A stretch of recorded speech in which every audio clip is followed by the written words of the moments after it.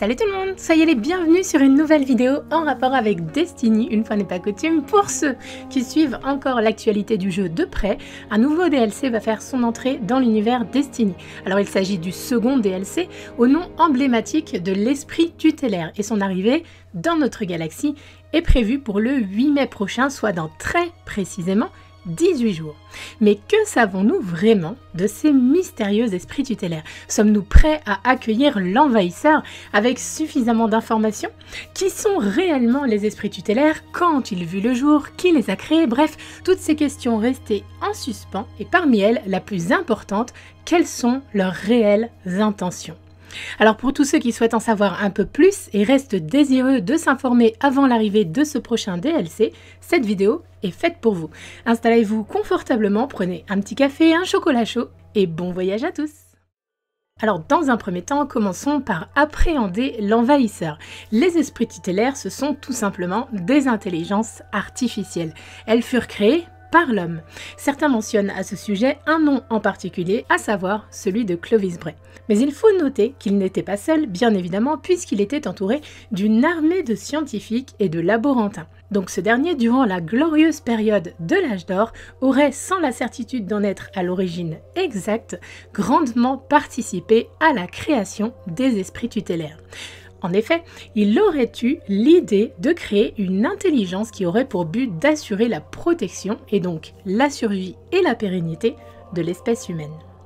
Alors brièvement, rappelons le contexte. Nous sommes à la fin du 21e siècle et nous venons d'entrer dans l'ère de l'âge d'or. Cet âge d'or qui va durer environ 300 ans, à savoir donc jusqu'à la fin du 24e siècle.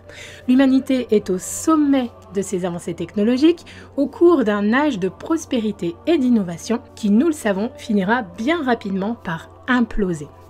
Clovis Bray a alors eu l'idée de mettre au point un système autonome de défense, basé bien évidemment sur l'intelligence artificielle. Il aurait commencé avec la création des exo-humains, en clair des robots à taille et à apparence humaine qui seraient chargés de la défense rapprochée des hommes directement sur Terre avec eux. Plus tard, il fut établi que les réseaux entiers de satellites en orbite autour de la Terre pouvaient être blindés, armés suréquipée et qu'une intelligence artificielle plus grande, plus puissante, pourrait agir de façon autonome et serait en charge de régir toute cette logistique. Le grimoire, entre autres, nous évoque les sept séraphins. Il s'agirait de l'une des cinq factions qui étaient prévues au lancement du jeu.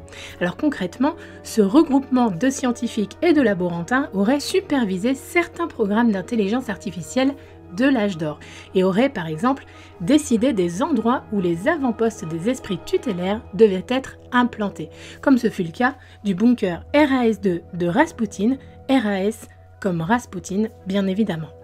Tout ceci est donc la raison pour laquelle nous supposons, nous les gardiens, que les sept séraphins soient la faction à l'origine du développement des esprits tutélaires aux côtés possiblement de Clovis Bray. Bref, sans qu'on ne sache vraiment qui appuya donc sur le bouton final du lancement de ce projet, les esprits tutélaires étaient nés. Alors côté présentation, nous savons qu'il existait plusieurs esprits tutélaires, mais seuls deux d'entre eux sont encore connus de nos civilisations à ce jour, à savoir Charlemagne et Rasputin, surnommé le tyran. Comme l'histoire l'indique, les esprits tutélaires ont donc veillé sur nos colonies de l'âge d'or, des intelligences bienveillantes, vigilantes, s'étendant donc sur des milliers de satellites blindés jusqu'au jour où des ennemis venus d'autres mondes nous terrassèrent. Malgré leur solide conception pourtant, lorsque ces ténèbres nous envahirent et que la chute nous frappa, ces grands esprits tutélaires luttèrent et finirent par mourir. Donc voilà pour le résumé très synthétique de l'histoire des esprits tutélaires. Alors je ne suis pas rentrée dans les détails, mais intéressons-nous maintenant à ce qu'ils étaient vraiment. À quoi ressemblent-ils Où vivaient-ils? Et surtout, comment fonctionnaient-ils? Alors un esprit tutélaire, concrètement, c'est un robot, une machine, un ordinateur, une intelligence artificielle puissante conçue à des fins de guerre stratégique. Ils sont si complexes et si intelligents même les Vex ne pouvaient pas prédire ou reproduire leurs fonctions.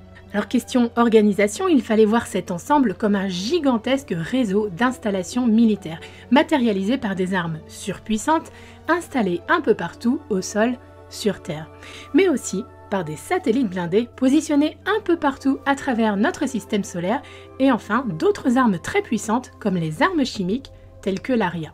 Il faut savoir que pour chaque esprit tutélaire connu, il existait quelque part dans le monde une salle vers laquelle toute cette technologie convergeait, une sorte de centre névralgique, parfois de gros bunkers contenant plusieurs chambres de contrôle d'où toutes ces armes et tous ces satellites se commandaient.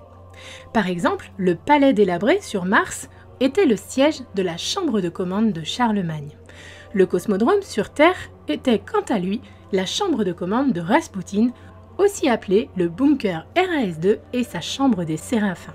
Alors comme toute chose militaire, les actes quotidiens consistaient à étudier et surveiller les mouvements au sein de notre système. En cas d'attaque, il donnerait l'alerte et déclencherait les protocoles de défense. Alors jusqu'ici, tout semblait plus ou moins bien planifié. Mais voilà, cette technologie avait une limite. Car avons-le, il faut vraiment être fou et inconscient pour donner à une seule et unique entité artificielle qui plus est, le contrôle total de nos satellites, de nos armes les plus puissantes et de l'ARIA. Mais afin que vous compreniez cette folie, retenez bien qu'à l'époque, la programmation de base de Rasputin, qui était considéré un peu comme le chef des esprits tutélaires, était de protéger l'humanité de façon autonome. Il avait donc pour ce faire toutes les clés et toute la confiance de ses créateurs. Cependant, toutes les mesures que Rasputin avait prises au moment de la chute afin d'honorer ses résolutions avaient échoué. Il était donc en situation d'échec, ce qui rentrait en contradiction totale avec sa fonction première de défense de l'humanité. Comme il avait échoué, il avait donc fait le choix de s'auto-reprogrammer. En clair, Rasputin avait développé une sorte d'état de conscience. Il avait compris son échec, l'incapacité totale d'honorer son objectif premier, et il en avait donc déduit qu'il devait se reprogrammer un nouvel objectif. Malgré les apparences, tout cela n'intervenait pas de sa pure volonté. En effet, il faut savoir qu'il existait dans les racines mêmes de Rasputin un protocole initial nommé exigence de minuit. Le protocole semblait permettre aux esprits tutélaires d'ignorer leur responsabilité de protéger les populations humaines en cas d'échec imminent pour pouvoir prendre toutes les mesures jugées nécessaires afin d'assurer leur propre survie. Et concrètement, cela consistait à entrer dans une période de désactivation prolongée en cas de menace écrasante. En effet, quoi de mieux qu'hiverner en attendant que colère ne passe alors a priori, cela lui porta chance, puisque selon Ikora Ray, la porte-parole des arcanistes, le seul esprit tutélaire à avoir survécu à la chute fut donc Rasputin. Alors la suite de l'histoire, vous la connaissez. Voulant lutter contre l'Aria, les seigneurs de fer réveillent malencontreusement Rasputin et sous le choc, paf, celui-ci les prend pour une menace, il enclenche ses défenses, il les extermine, tout ceci malgré les multiples tentatives de négociation à l'époque de Lord Fellwinter. Alors tout ceci fait partie de l'histoire de Destiny que vous connaissez tous déjà probablement très bien, donc on ne va pas revenir dessus, mais sachez que cela ne signifie pas pour autant, comme je vous l'ai dit précédemment, que Rasputin était dépourvu d'un état de conscience. Car les révélations que je vais vous faire par la suite sont aussi vraies que surprenantes. Alors sans qu'il n'en ait jamais informé ni son créateur ni ses homologues tutélaires, Rasputin avait pris en secret la liberté de concevoir lui-même un autre protocole. Celui-ci consistait à diriger toute arme en sa possession contre le voyageur, ceci afin de menacer ce dernier s'il tentait de s'enfuir sans nous défendre en cas d'attaque. Et oui, Rasputin avait donc créé lui-même un programme visant à notre protection par la contrainte du voyageur. Alors nous n'avons jamais vraiment su si ce protocole a réellement été activé non, mais cela aurait pu par exemple justifier le fait que le voyageur serait revenu mystérieusement se poser sur la dernière cité sur Terre après une tentative de fuite désespérée pendant la chute. Pour finir, le grimoire nous parle de façon assez implicite d'une rencontre entre Rasputin et l'exo inconnu, qui, on le sait, est un personnage extrêmement engagé, mais le mystère, là encore, à ce sujet, reste entier. Et maintenant, pour terminer cette vidéo, place à la théorie pour ce prochain DLC. Donc je le précise bien, il s'agit de spéculations pour ce qui va suivre, de mes interprétations personnelles, donc ne les prenez pas comme choses acquises, mais je vais simplement vous livrer quelques réalités dont j'ai pu faire l'expérience. Alors nous savons que Rasputin est en vie, mais quelles sont ses réelles intentions? Est-ce qu'il vient en paix? Est-ce qu'il est notre allié dans cette aventure? Ce sont bien évidemment les questions que tout le monde se pose. Alors sachant qu'il est une machine reprogrammée, si son objectif premier n'a finalement pas échoué puisque l'homme est toujours en vie, va-t-il reprendre notre défense à nouveau?